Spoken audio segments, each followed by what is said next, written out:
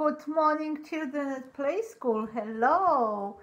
Today is Children's Day, and we would like to wish all our children a very happy day.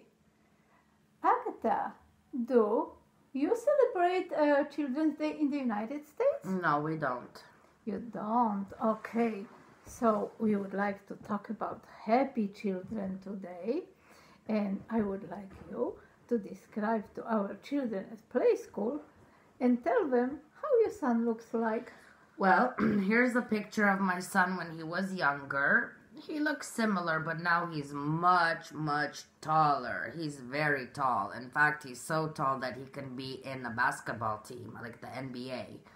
But he has blondish, dark blonde, light brown hair, which he likes to color a lot. He's had silver hair, blue hair, bright pink hair, green hair.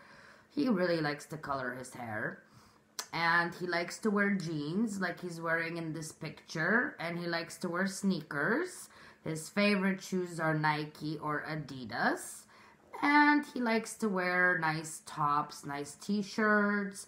And in this picture, he's wearing a silver jacket and he's playing with a game. What's his favorite color? His favorite color is burgundy and blue. Wow, burgundy. He wears burgundy sneakers, right? Yes, he does.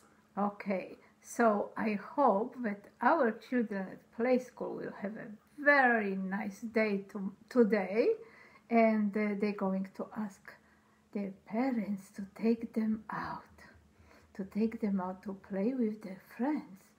Tomorrow we're going to talk about your friends and I hope that all children at play school will be able to tell me how you look like. That you like wearing jeans?